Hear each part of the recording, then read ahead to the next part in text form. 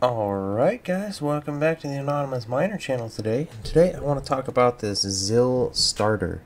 So this is actually a ZIL mining tool and it allows you to actually mine pretty much whatever you want alongside ZIL. So right now I just missed it before I started recording. It actually switched over to ZIL. It is mining ZIL right now. Um, you can see we're getting about 38 mega hash on a 3060 and this is while I'm recording. So I do have the driver, and there it goes. It closed Phoenix Miner, and now it should open uh, G Miner any second here. Here we go. It just popped it up, and now it's going to start mining Raven because that's how I have it set. So that is what I'm going to go over today. Is actually how to use this miner. Uh, again, I am mining Raven miner or uh, mining Raven and also ZIL at the same time. But you could be mining Aeon and ZIL. You could be mining uh, Firo and ZIL. You could mine ETH and ZIL. You could mine ETC and ZIL. You can mine again whatever miner you want, pretty much. And without further ado, let's get into how to set this up now. So again, this is an auto switcher. I didn't do any of that stuff. It does it in the background right here and it is very easy to start as well. So let's get into this. Alright, welcome back. So we are now on the actual ZIL mining page. So this is the ZIL switcher, actually. Um, it is on bitcointalk.org uh, slash index. I will leave this link down below. And it says, hello, anonymous miner, thank you.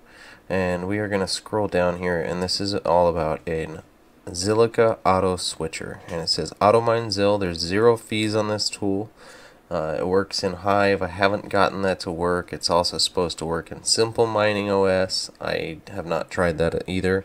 What I'm going to show you how to do today is actually to do this in Windows because I see a lot of people wanting to mine ZIL now since the ZIL has gone up a bunch. It's, uh, I want to say almost 8 cents right now as of making this video. So that's really cool uh, especially with how much ZIL I've been holding. So anyways, these are the um, different miners that Z the ZIL switcher will support. So if you're, you are if you are using any of these here, you know, uh, Phoenix miner, Claymore miner, uh, this is kind of gone, Claymore miner. I used to use that back in the day, but it's gone now. SRB Miner, SG Miner, B Miner, G Miner, nice hash minor Legacy, I don't even know what that is. CC Miner, TT Miner. Uh, I've never used some of these. Team Red Miner, Uh, you can choose any of these miners and it will switch back and forth between using your regular .bat file that you probably already have set up in Windows and the regular thing. So it does show you how to do this down below and I will show you what I'm going to do today. So the first thing I'm going to do is I'm going to download the ZIL switcher. The download link is right here. I'm going to click that. It's going to take me over here. And after it finishes loading we can download the ZIL switcher. Now there's two different versions here. I'm going to download the newest version. And then there are two other things that I'm going to download. I also am going to grab um, Phoenix Miner today of Phoenix Miner version 5.6D okay I'm going to download that. And then I'm also going to download Gminer and these are the softwares that I'm using today. Again, when I showed you uh, the beginning of this video, that is what it is switching between. It is actually using Phoenix Miner to mine Zilliqa, and it is using Gminer to mine um, Raven. So, let's get into this now. Alright, so now that we got all this stuff extracted into one folder, I actually had to remove all of the contents of the different miners after extraction and put them into one folder. So now I have one folder with ZIL Switcher, Phoenix Miner, and G Miner all inside. So what I have to do now is I just have to go modify my bat file. The first thing I want to do is rename this Ravencoin bat file to a little bit simpler name so that I can uh, reference it later. So I'm just going to put RVN so there we go, and then I'm going to also go in there and I'm just going to change this address to my address. And the reason I'm just going to do that is because this isn't my address. So there we go. I got my address in there. We can save it. And now I have my Raven set up. So the only other thing I have to do is set up the ZIL switcher. So I can show you now, I just double click that, the miner opened on my other screen, let me drag it up there, and there we go. So it is building the DAG file and it's working. So the first thing I have done is I actually got my original miner, which you guys probably already have set up, working. Now, let me close that. First option that I have to get ZIL Switcher started is I can double click on ZIL Switcher right here. It is the application. It's going to ask me, should I run it? Yes, I want to run it anyways. And it's going to pop this window up. Let me drag this up there. Okay, so after a couple seconds, it finally loaded this list. Let me uh, let me open up the screen a little bit bigger here so we can see. Okay, it has a full list of all of the miners that you're allowed to choose from when you're using this client, this ZIL switcher client. Um, this is the thing that I really like. It allows you to do all these different ones. So again, today we're going to be using G Miner. So G Miner is number 6. So it says enter minor number from above list. So I'm going to hit number 6. Now it's going to ask me do I have an executable or a bat file. And what they're asking here is, let me go back, let me, mine, let me minimize that. Okay, what they're talking about here is, so I have uh, a miner here. This file right here is gminer. Uh, this one's Phoenix Miner, and what they're talking about is this is the executable file. It means when you double click it, it'll actually open a miner. See if I'm gonna run anyways, and it should open a miner. So they're talking about do you is that how you mine? You double click on that, or do you actually have a bat file? And then I have a bat file, so that's the way that I'm gonna set this up. So I'm gonna hit number two now it asks right here, number two. So hit two. What is the full name of your bat file? See, this is why I made a really short bat file before, where I just put RVN. So it says put your bat file and then .bat. There we go. Now, all the, the only last thing I have to do to technically get this started is to put in my ZIL address. So let me go grab my ZIL address real quick. Um, here we go. I'm copying it right now and we shall come up there. Okay, so you can just copy and paste it right into the miner. Here we go. Paste it right in there, and then I'm going to hit enter. Okay, and it popped up Gminer already. So, it it is open Gminer. I'm going to let this start while I talk for a second. It should be able to load the driver and everything, maybe not while I'm recording at the same time. It might have a little bit of difficulty with that.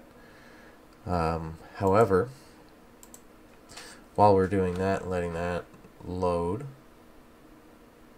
yeah, it's not gonna it's not gonna let it mine. This is only a 3060. So I do know it works. There is another way to set this up, however. And that is by actually making a bat file with your information inside of that. So I'm going to actually just modify one of these other batch files. So I'm going to get rid of mineeth here. Um, actually, let's make a copy of this. This is probably a better practice for everybody in case you want to use it later. So I'm going to copy and paste. So I now have a copy of that and I'm going to edit the name right there. And we're going to name this ZIL start. Okay, and now we're going to come back over to the ZIL website. Let me get back on there. And here we go, it is loading. terrible content producer, guys, sorry. There we go. Okay, so this is the original website that I have linked down below. And we are going to come down here to these command lines or start scripts. So this is what I'm interested in right here is this. I'm going to copy that. And then I am going to modify my bat file with that. So Let's open ZIL switcher and we are going to go to my ZIL starter now which is probably at the bottom ZIL start right here and this is a batch file. I am going to erase the rest of this stuff. It is now empty. We're going to paste what I just copied off of the first thing. And now it's going to ask me what M. So the M Zil Switcher.exe is the executable file. That is ZIL starter. Um, now this is M. M is 6. Remember that was the G Miner from my previous example of how to start this. So that is G Miner right there is number 6. And then we're going to need to put my minor bat file here. This is where I'm going to put that name, Raven. So that is what I named right here. Hold on, let me drag this over. See right here, Raven. Okay, and then I'm going to put Raven there. And then the last thing I need to modify in this file is my ZIL address right here. So let's actually undo that. I need to go copy my ZIL address again.